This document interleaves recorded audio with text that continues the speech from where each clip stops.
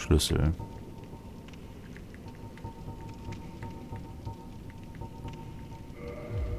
Nein. Nein. Das ist sehr komisch. Aber gut, wir wissen jetzt, wie wir jederzeit zum Tutorial-Gebiet zurückbekommen. Also zum Asylum hier halt, für die Untoten. Hops. Und wenn wir irgendwo von einem Boss einen Schlüssel bekommen, der... Nicht sterben, nicht sterben. Zweihandmodus, Schild raus. Das war Panikmodus, definitiv. Ich wollte eigentlich nur das Schild wechseln, hab dann das andere Ding gewechselt. Da, egal. Schild raus. Seelen einsammeln. Ganz entspannt die Feuertypen töten. Oh, komm her. Hau mich. Tot. Hau mich. Tot. So geht das. Nicht panisch sich neben die Türen verkeilen. Dreht, hau mich tot. Hau mich tot. So. Irgendwo. Irgendwas. Hm. Gräber? Ja. Nicht besonderen Gräber vielleicht, wo ein Text aufploppt.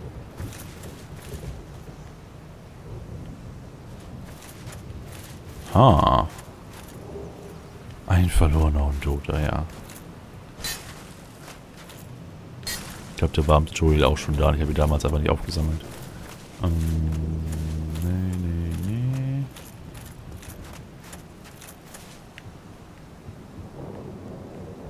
Oh, warte mal.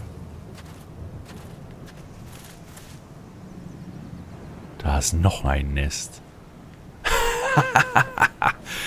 okay.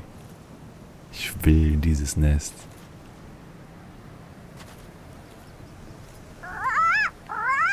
You, you, give me warm, give me soft.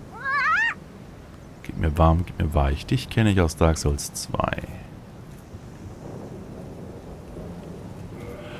Ah, Gegenstand. Warm und weich. Puppe? Nein. Äh, geborstener roter Augapfel? Goldhaar? Ah, Das wird meine Waffe verändern, das wird nicht. Seelen? Abfall. Ablegen? Oh. Nee, das wollten sie nicht. Hm. Kupfermünzen ist auch nicht warm und weich. Roter Brocken wird nicht weich sein.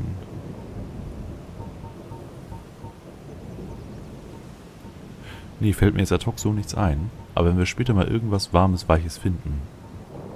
Ich weiß aus, dem, aus Dark Souls 2, da war es halt ein runder Stein. Dann sollten wir hier zurückkehren. Tutorial. Gut. Äh, da.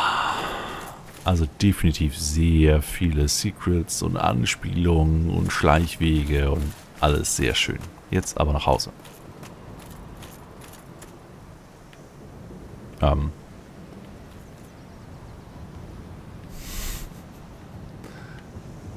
Vogel. Wenn ich jetzt weiter nach vorne gehe, falle ich runter. Wir haben einen Heimkehrknochen bekommen. Das ist richtig. Was ist, wenn ich den Heimkehrknochen benutze und dann sofort wieder hierher fliege? Dann habe ich keinen Weg mehr zurück. Richtig? Richtig. Das heißt, es muss theoretisch einen regulären Weg geben, hier rauszukommen, oder? Oh, und da hinten auf den Ruinen liegt noch ganz... Kommen wir da irgendwie rauf? Ja. Ja. Das da sieht aus wie ein Gebiet. Das ist aber auf der falschen Seite? Nee. Auf der Seite ist die verschlossene Tür. Das heißt, hinter der verschlossenen Tür ist noch das Gebiet da. Was nicht so groß zu sein scheint, aber wer weiß, wie weit in das Gebirge das noch runtergeht oder so. Abgefahren, abgefahren, abgefahren, okay. Ähm, ich laufe mal ganz kurz zurück zu einem Lauf, äh, Leuchtfeuer. Verbrauche die Seelen und dann springe ich beim Nest runter. Einfach mal so, um zu gucken, ob da irgendwas... Warum ist das Loch wieder zu? Hm. Sehr komisch. Also, dass das Loch wieder zu ist. Nicht, dass der Boss jetzt wieder da ist. Das wäre komisch. So, wir wollen aufsteigen. Wir hätten gerne... Da lange nicht gemacht. Stärke. Jo. So. Jetzt würde ich gerne... Eigentlich würde ich gerne nochmal runterfallen, um zu gucken, ob da jetzt der Boss wieder ist. Deswegen mache ich das einfach mal. Nö, kein Boss. Okay. Haha, ihr seid runtergesprungen. Hoch. Also, das hätten wir auch getestet. Jetzt aber zum Rabennest. Gucken, ob es eine Option da gibt. Wenn es keine gibt, runterspringen. Und dann kommt entweder eine coole Cutscene, wo ein Rabe uns auffängt. Oder wir sind tot und laufen vom Leuchtfeuer da wieder hin, um unsere 2000 Seelen einzusammeln. Eins von beidem. So, trinken. Wir wollen ja mit vollem Leben in den Tod springen. Komm her. Du bist der eine, der nicht runtergesprungen ist, so. Du warst der Klügere. Siehst mal, was dir das geholfen hat. So. Feuertypen. Ganz ruhig, Girogon, ganz ruhig. Feuer ist nicht schlimm. Ja. Tong. Nächster. Tong. Nächster. Tong. Okay. Okay, okay, okay. Tong. So. Jetzt hoch. Gucken, ob ein Text auftaucht. Und wenn kein Text auftaucht, laufe ich einfach geradeaus weiter. Dann werde ich eventuell mit einer Cutscene belohnt für meinen Mut. Oder mit einem Tod für meine... Oh! Okay. Es, kam eine Zusammenrolloption, aber ich war schon zu weit vorne. Da hinten ist mein Seelenhaufen. Ja, okay, okay. Warum kam das letzte Mal nicht? Ich muss echt komisch gestanden haben.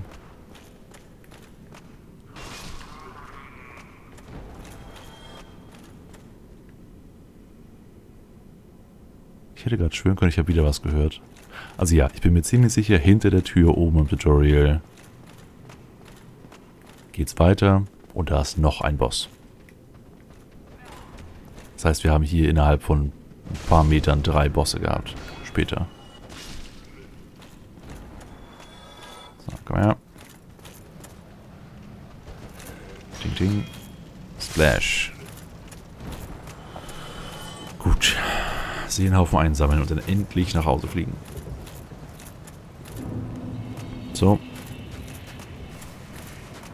Jetzt zusammenrollen und warten. Zusammenrollen. Sehr schön.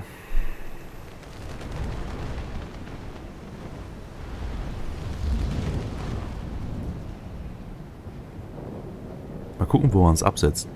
Unten beim Leuchtfeuer beim Feuerbandschrein oder oben wieder in seinem Nest. Und nächste Frage. Na, Nest, okay. Nächste Frage. Wer war der andere Typ, den der Vogel abgesetzt hat im Nest? Den der depressive Typ gesehen hat? Nächste Frage. Was leuchtet da hinten so komisch? Oh Mann. Okay. Ah, tot. Nächste Frage. Wo tauchen wir jetzt auf? Fragen über Fragen. Ich bin mir ziemlich sicher, wir sind ja im... Au. Im Asyl der Toten. Weg. Also, in der Kirche war definitiv ein helles Licht von oben zu sehen. Da könnte noch irgendwas sein. Und wie gesagt, der depressive NPC, der unten im Feuerbahnschrein sitzt, bei jedem Satz kichert der hat uns gesagt, dass er gesehen hat, wie der Rabe einen Typen in seinen Krallen hingebracht hat. Und wir haben jemanden schnarchen hören. Den schnarchenden Typen haben wir immer noch nicht getroffen. Außer es war der Ritter, den wir jetzt getötet haben. Aber das war eine Hülle. Also denke ich eher nicht. Also der war wirklich tot, untot, tot. Nicht so wie wir, untot. Ne? Ich habe es immer noch nicht ganz verstanden, wie es mit den Höhlen, den Untoten funktioniert. Aber ich denke, es gibt Untote, das sind alle, die wir treffen. Und es gibt Höhlen... Ne, warte. Ja doch, wir sind alle untot. Aber es gibt dann noch Höhlen, die haben denn gar keine Menschlichkeit mehr in sich. Das sind die Monster, die wir die ganze töten. Die Untoten, die noch mit uns reden, das sind einfach nur Untote und keine Höhlen. Ich glaube, so rum war das. So, zusammenrollen. Nicht in den Tod stürzen. Nicht in den Tod stürzen. Ganz vorsichtig gehen. Da oben ist nur ein sehr schmaler Grat. Und vorher noch gucken, was im Licht ist. Aber nicht mit den Bewegungstasten, sondern nur mit der Kamera. So. Okay, da hinten ist eine komische Mauer, aber die interessiert nicht. Also das da. Das sieht nämlich sehr abgefahren aus, diese Ringsysteme. Das meine ich gar nicht. Ich meine... Dun, dun, dun, da. Ich gehe erstmal kurz von diesem Sims runter. Die falsche Richtung. Warte, warte, warte, warte, warte, warte. So. Da. In dem Loch im Dach. Leuchtet was. Ich würde gerne auf das Dach da. Mit dem schmerzhaften Weg überhaupt. Wie komme ich... Ich würde gerne hoch. Komme ich hoch.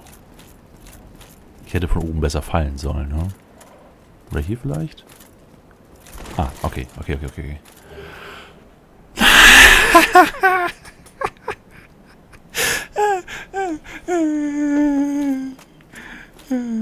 Das ist mein Wimmern. Das ist der Schlüssel, den wir da brauchen. Gott, was ist jetzt hier? Nichts. Da ist nur eine Lichtreflexion. Das sind die Lichtstrahlen, die von hier starten, damit es unten aussieht, als wenn die Sonne hier reinscheint. Richtig. Ach, weißt du was, ich habe sowas von nichts zu verlieren. Roll da rein. Das passiert, wenn man untot ist und Langeweile hat. Man springt durch Löcher in nichts. So, du. Oh, miracles, I presume. Hast nichts Neues. Ne. Hast nichts Neues für uns. Wir haben so schräge Dinge verlebt bisher. Ah, okay, trinken. Wir gehen jetzt wieder hoch. Mit diesem Fahrstuhl. Wir gehen wieder zu dem Nest. Wir fliegen wieder ins Tutorial-Gebiet und machen da die verdammte Tür auf. Ich hätte zuerst looten sollen und dann den anderen Weg. Gier ist toll und so. Also, einfach nur rollen war das. Einfach nur rollen. Ja, sehr gut. Roll. Hallo, Rabe. Kicherst schon wieder, ich weiß das. Kicherst, weil wir schon wieder dahin fliegen müssen. Aber es ist schön, wie sich alles nach und nach zusammenfügt. So, unser Seelenhaufen da drin. Haben das Ding markiert als unser Gebiet. So, zusammenrollen. So schräg alles. So verdammt schräg. Als ich mich zum ersten Mal hier zusammengerollt habe, dachte ich auch, was zur Hölle soll das? Ich kann mich zusammenrollen und wieder aufstellen. Was soll das? Das wäre ich zu ungeduldig gewesen, hätte ich niemals das Gebiet wieder erkannt, äh, wieder gefunden. Hammer. Absolut Hammer. Okay. Ähm, ja. Setz mich da ab. Danke. Warum auch immer du uns immer hin und her fliegst. Vor allem, warum du deine Eier immer wieder hin und her fliegst. Weil, wenn wir uns zusammenrollen, sehen wir aus wie eins deiner Eier.